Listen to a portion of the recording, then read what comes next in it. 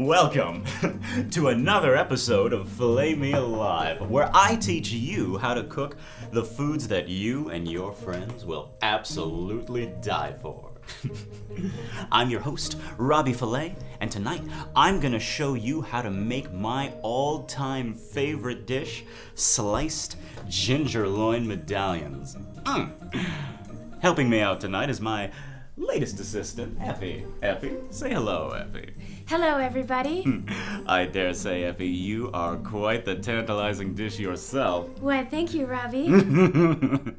Let's get started.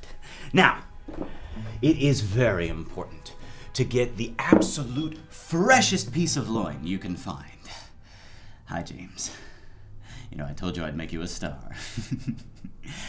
I always say that there's nothing more disappointing than having your friends for dinner when their meat isn't tender.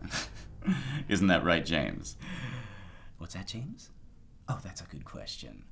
You know, I'm at a loss to explain just where I get my ideas. I guess you could say I can't quite put my finger on it.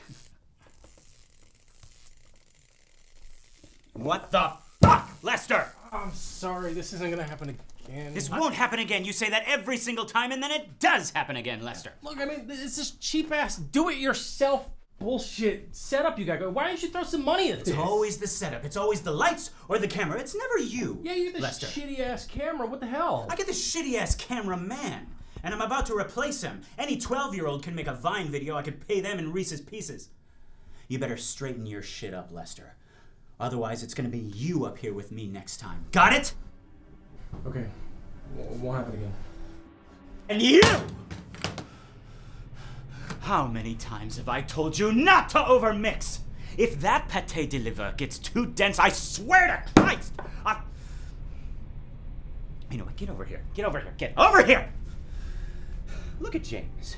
Say hi to James, Effie. Hi, James. James wants to help me. James is cooperating. James is yielding because James believes in me. I want you to believe in me, Effie. No, no, no, no, no. I want you to believe in me. I want you to say that you believe in me. I've done so much for you, Effie.